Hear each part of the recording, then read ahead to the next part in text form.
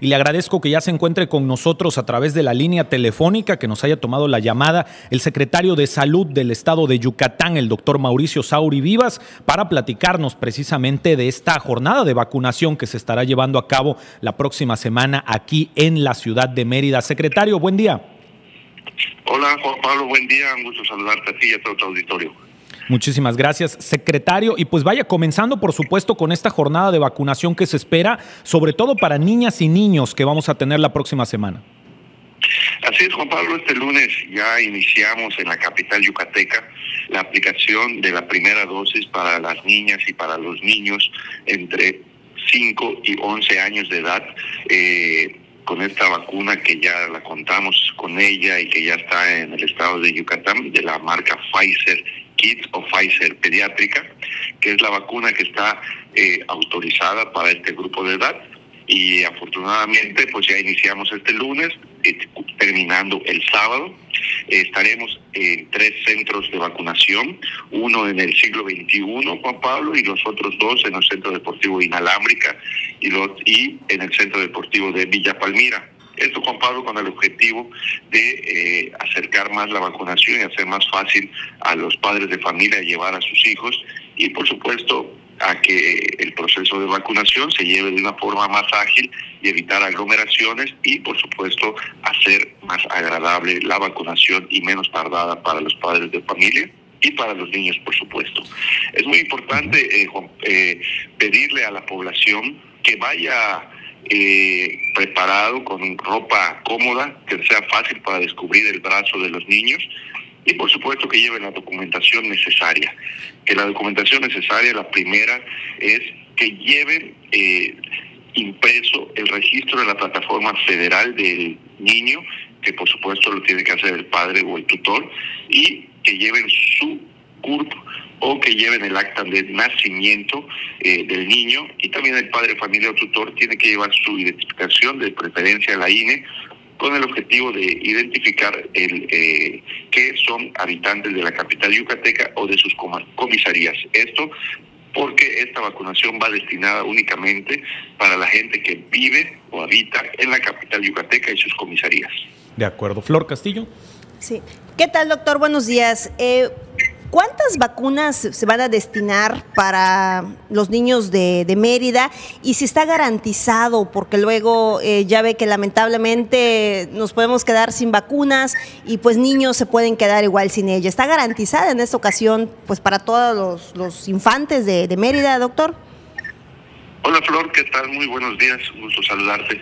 Sí, Flor, afortunadamente pues... Eh, como tú te recordarás, eh, pues desde semanas atrás nos ha llegado vacuna de la Pfizer pediátrica y no iniciamos en la capital yucateca eh, por eh, por responsabilidad, porque no podíamos iniciar, porque no teníamos la dosis necesaria para completar el censo poblacional que tenemos para el grupo de edad entre 5 y 11 años de edad.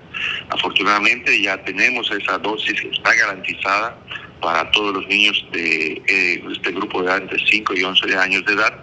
Y también, pues por supuesto, que afortunadamente eh, el gobierno federal nos está mandando vacuna de forma eh, rutinaria y por supuesto, pues cada semana lo estamos recibiendo, pero actualmente ya podemos arrancar media, podemos garantizar que la vacuna que tenemos actualmente en existencia es suficiente para cubrir la capital yucateca y es por eso, Flor, que estamos insistiendo a todos los padres de familia que esta jornada de vacunación que inicia el lunes y termina el próximo sábado es únicamente para los niños entre 5 y 11 años de edad de la capital yucateca y sus comisarías. Entonces, hacemos un llamado a los padres de familia de los municipios cercanos a Mérida que eviten trasladarse a la capital yucateca porque no se les va a poder aplicar esta dosis a sus hijos y también les decimos que muy pronto estaremos en sus municipios vacunando a sus hijos entre los 5 y 11 años de edad. Doctor, el llamado a los padres de familia, ya ve que pues siempre hay em, comentarios, temor, si hay algunas reacciones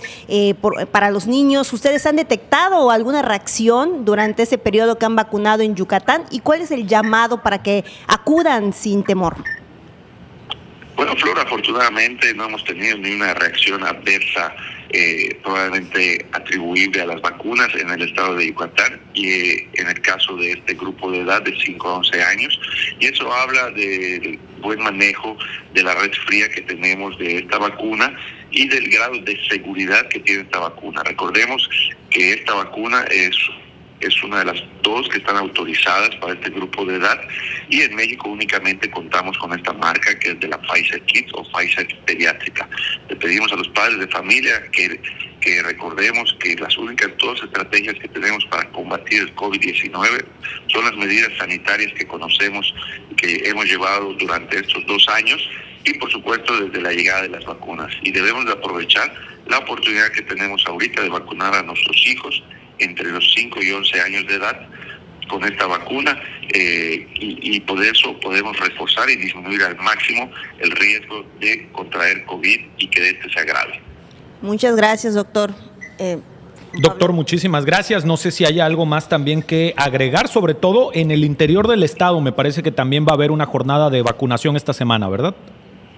Pablo, también de forma simultánea el lunes estaremos arrancando en más de 20 municipios para eh, la vacuna de primera dosis para los grupos de edad de 12 a 14 años y de igual forma estaremos en cuatro municipios poniendo las dos eh, las dosis de refuerzo entre los grupos de edad de 15 a 17 años.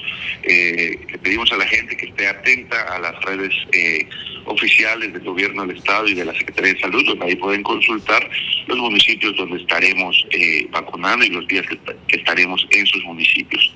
Y también, si me da la oportunidad, recordarle a la población que el COVID-19 sigue con nosotros. Nos tenemos que seguir cuidando los unos a los otros, respetando las medidas sanitarias, usando el cubrebocas en lugares cerrados, evitando lugares poco ventilados y por supuesto pues aprovechar la vacunación que tenemos de nuestros niños y de los adultos en los módulos permanentes los cuales siguen los cuales siguen funcionando hasta el día de hoy en los módulos permanentes, sobre todo para la población rezagada, ¿verdad? Ellos, eh, digamos, en eh, siglo XXI, Villa Palmira y en la inalámbrica, ahí más bien van a ser niñas y niños, población rezagada en estos módulos permanentes que nos comenta. Así es, Juan Pablo. Recordemos que los módulos permanentes están abiertos de lunes a viernes, de 8 de la mañana a 6 de la tarde, y va destinado para los grupos de edad de 18 y más para iniciar o completar esquemas de vacunación. De acuerdo, perfecto. Pues mucho éxito con esta nueva jornada de vacunación, doctor, y estamos al, al pendiente.